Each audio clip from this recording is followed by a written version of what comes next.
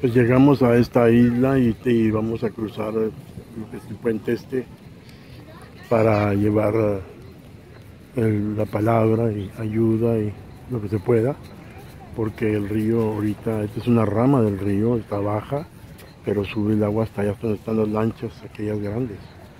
Entonces, ah, a veces cuando sube, pues no hay comida, no hay nada, no no hay nada.